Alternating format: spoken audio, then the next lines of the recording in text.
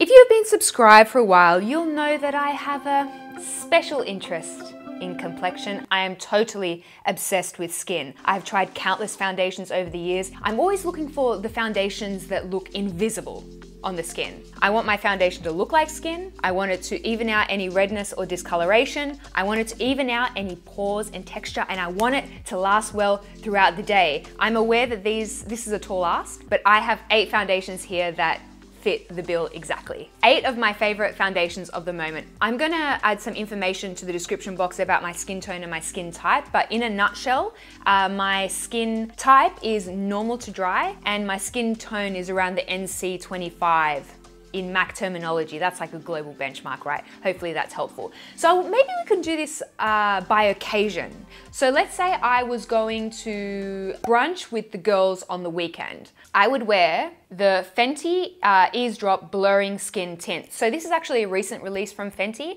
and to be honest, I wasn't expecting to love it. I was pretty uninterested at first because a lot of the Fenty foundations kind of miss the mark for me, but this one is so far up my alley. It has a sheer maybe medium coverage. It's kind of like one step above a tinted moisturizer, if you can imagine that. I've applied it with fingers, I've applied it with a sponge, um, and it's got that real kind of chill, easy weekend kind of vibe. So true to the name blurring, this formula is super smoothing. It's, it's just like packed with dimethicones. You can really feel that slippery, velvety texture between your fingertips, which is the, the hallmark of a silicone heavy foundation. Because it has that kind of like velvety, slippy texture, I find that it doesn't really build on itself well, right? After like one or two layers, you're not really getting extra coverage. I think this one is meant to be worn sheer. The finish I would say is a, is a satin, so not too dewy, not too matte, kind of works on a lot of skin types. Uh, and I believe that this, uh, this formula is alcohol free as well, if that's something that, um, that you look out for. For me, the like the big factor that really got me on board is the shade. I have a decent shade match in this foundation. Hallelujah, I don't have to mix. The shade 6 is a muted olive shade that just, oh, it really kind of meshes all the different tones in my body, my neck, my chest, and it gives me a cohesive look. So for my olive uh, people out there, number six. I actually did wear that to brunch on the weekend with the girls prior to lockdown and it performed beautifully. All right, next occasion. Let's say we are going on a night out. We're having cocktails. It's a glam night out.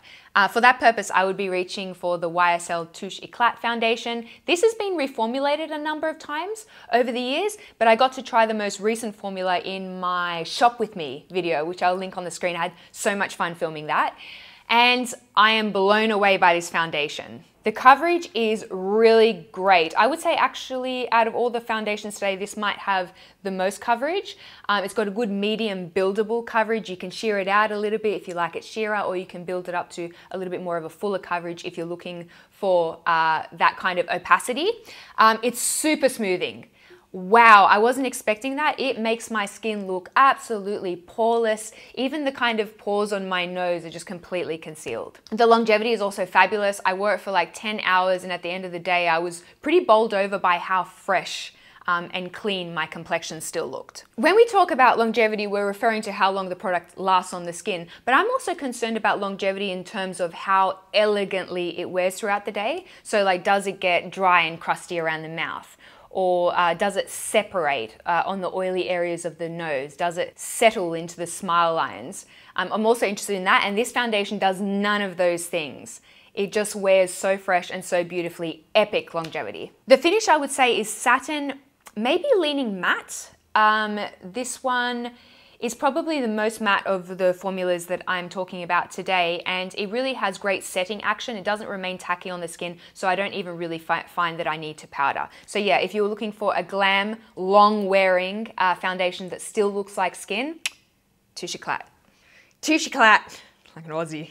All right, next occasion. Uh, I'm in a rush. I have risked my entire career for an extra eight minutes of sleep And for that occasion, I would reach for the Suqqu Nude Wear Liquid. If you're not familiar with this brand, Suqqu, it's uh, like a mega luxury brand from Japan, and everything they do is so tasteful and elegant and exquisite, like real works of art, and their color stories are so beautiful. And when I went to Japan, I just couldn't help myself. I just kept going back to the counter over and over again, and I'm sure that the, the sales associates there thought that I was totally out of my mind, and I am. I'm crazy for Suqqu. So this is one of those kind of dropper style, very, very fluid, watery kind of foundations. Um, and a lot of these volatile oil types of formulas tend to be uh, very flat and matte. If you remember, like the Dior uh, Nude Air, the Armani Maestro, very um, matte and they set down very quickly. Whereas the Suqqu uh, Nude Wear is, it gives you that beautiful, light, lightweight, weightless uh, texture uh, without it being like a super flat matte finish. It's got a little bit more of a satiny kind of vibe. And because that consistency is so thin and lightweight, it blends like a dream. Use your fingers, use a sponge, use a brush. It's done in like two seconds flat, which is why I tend to reach for this one when I'm in a rush, when I'm running late, which happens more than I care to admit. I don't know why, I'm always three minutes late. The coverage is sheer not quite a medium. I would say this is definitely on the sheerer side, your, your tinted moisturizer style of product, but perhaps I think most impressive is how weightless this product is on the skin. I totally forget that I'm wearing it. It really is like a second skin finish. Uh, I do want to give a quick honorable uh, mention to another Suqqu foundation. This is the Suqqu Extra Rich Glow.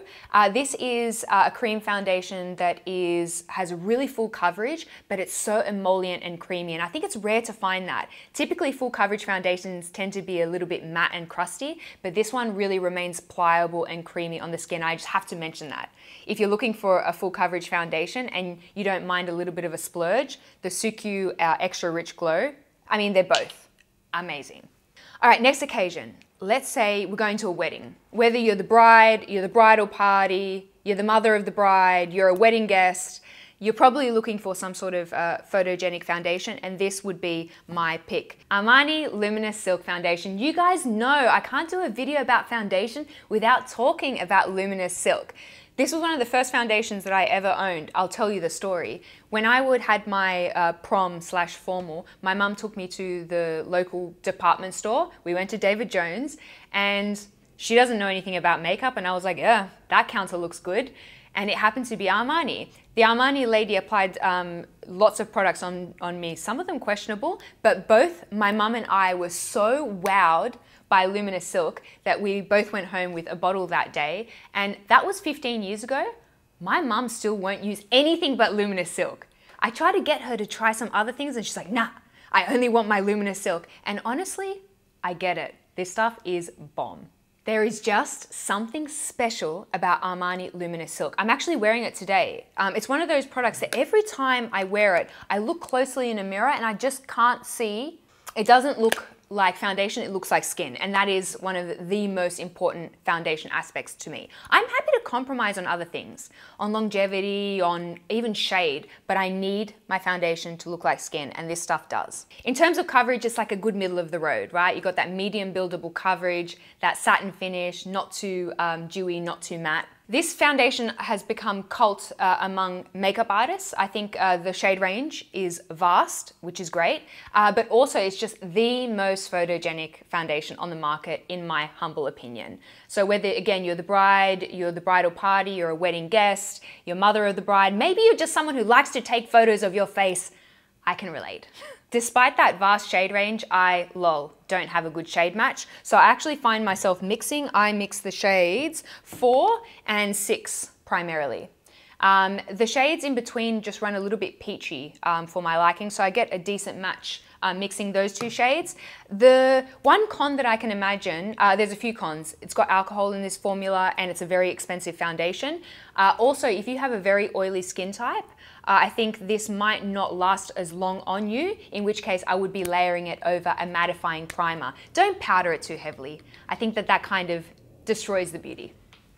A big thank you to today's sponsor, Skillshare. If you're not familiar, Skillshare is an online learning platform with thousands of classes from cool creatives who are generous enough to share their craft with us. Maybe you want to draw realistic humans or photograph a cheese board. Skillshare has a class about it. My latest uh, Skillshare discovery is by Tabitha Park. Find your photography style, create consistent photos. So I'm always trying to better train my eye to read photos, and that's exactly the focus of this class. Tabitha walks us through various photos to determine how they're lit, what equipment was likely used, uh, how to edit those photos in Lightroom to achieve that particular mood or style. And if you're like me and you're wanting to create a more consistent Instagram feed or a portfolio, this is a fabulous resource. Actually, all of Tabitha's classes are A+, much recommend. So if you're also looking to flex your creative muscles, then click the first link in my description box. The first thousand people to use this link will get a one month free trial of Skillshare so that you can try before you buy. Thanks again, Skillshare. Back to foundation. All right, next. Look, there are just some days where I wake up and I say, I want to be the glossiest me that I can be. And for those occasions, I reach for the Ere Perez Oat Milk Foundation. If you obsess over juicy skin, shiny cheekbones, glass skin, editorial shine, you are welcome. I love the tube. Um, this is my favorite foundation packaging. And the texture actually is quite thick. Um, it reminds me almost as like a cream foundation as opposed to um, a liquid formula. And when I first played with it, I thought, oh, that's kind of thick. Uh, I thought that maybe it might look a little bit heavy on the skin, but I stand corrected because once this is blended in, it does this gorgeous like melty thing where it just like melts into the skin and you cannot see any pigment visible on the skin whatsoever. It's glorious. So Ere Perez describes this as a medium to full coverage, and I think that we might have different definitions because I would call this a sheer to medium. You can continue building it upon itself. You can go in with a second layer, but I find that it starts to get like excessively glossy and slippy and slidey and greasy. It's there's sort of like a limit to which um, you can build coverage. And then if I want anything, ex any extra coverage beyond that, I can always go in with a little bit of concealer. I think it's a little bit of a crime to powder this foundation. Um, maybe a little bit like precision powdering around the mouth, under the eyes, but I think it's most beautiful when you let that raw, glossy finish shine. I'm actually really excited about this brand, Perez. It's available now um, in Mecca and it's Australian owned, which is awesome. I would like to see some more shades in this lineup. An on the go option, uh, maybe you're traveling or perhaps uh, you need like a handbag touch and go option, I would be selecting their My Armani to Go to go cushion. So I have spoken about this incessantly now for two years. It's a holy grail foundation. I get a little bit sheepish when I talk about it because I sense that I'm kind of almost like uh, going into the same sentence that I've said so many times before. I'm gonna keep this brief. This is my favorite cushion foundation that I've ever tried. It makes the skin look really plump and juicy and healthy. That's what people tell me when I wear this foundation. Oh, you look so healthy. You know, maybe she's born with it or maybe it's Armani. This foundation doesn't have like a strong setting action, right? It kind of remains a little bit movable and pliable on the skin, which I consider to be a pro because at 4 p.m. after I've taken off my glasses and my makeup's looking all a bit smudgy and gross, I can just take a little bit extra and smudge everything back into place. Um, it's, it's really great for touch-ups. The coverage is surprisingly good. It's got a medium buildable uh, coverage, good for daytime, good for nighttime. The finish is quite dewy and the longevity, as I said, is kind of so-so because it doesn't really set on the skin. The cons, it's so expensive. Oh, what an expensive habit I have here, especially because cushion foundations, you tend to go through them really quickly. And also, I'm not sure if this is a geographic thing, um, but the shade range sucks. All right, next occasion is a broad mood called No Makeup Makeup. I often find myself in this mood, and a foundation that I often reach for is the Pat McGrath Labs Skin Fetish Sublime Perfection Foundation. I do have a whole video, a big video, uh, breaking this down, which I'll link somewhere on the screen, but I'm just besotted with the way this foundation looks on the skin. It looks like fresh, bare skin. I cannot see um, any pigment kind of sitting on the surface of the skin. Uh, it doesn't sit in pores. It just looks like fresh bare skin. And so I often find myself reaching for this when I am doing like macro photography uh, or no makeup makeup looks or any kind of real skin centric look this is my guy. The coverage I would say is on the lighter side of medium. The finish is on the dewier side of satin. And I think one really impressive thing about this foundation is that it has fabulous longevity even if you don't powder it. I think that's pretty impressive. A dewy foundation that lasts well even without powdering. There are some downsides. There's some sort of like film forming technology going on in here that leaves like a tacky finish, a bit of a sticky finish, which I think might annoy some people. Also, it has a little bit of a tendency to settle into lines and folds like smile lines, um, more so than uh, a lot of my other formulas. And also, most notably, perhaps there is a, a learning curve with the application. Um, after much trial and error, I found that I liked it most when I quickly patted it on with fingers. But if you fiddle too much or if you go to layer another layer, it has a tendency to lift upon itself. All of this, all of this is worth it for that juicy, bare, fresh skin, no makeup, makeup, macro photography, worth it. I've got a foundation for a sick day. Look, when you're an adult, sometimes you just feel rotten, you feel sick, but the show must go on. And for those occasions, I reach for the Charlotte Tilbury Light Wonder. I rediscovered this in my collection recently and I just fell in love with it all over again. So this is another sheer to medium dewy finish foundation. um, but this one I think is uh, really unique because it's so rare to find a liquid foundation that feels this creamy and this nourishing. It doesn't collect on dry patches, as you often sometimes get around the nose, around the mouth when you're sick. Um, it just really kind of glosses over any texture. It glosses over dry texture, I should say. And I really adore the way that this wears throughout the day.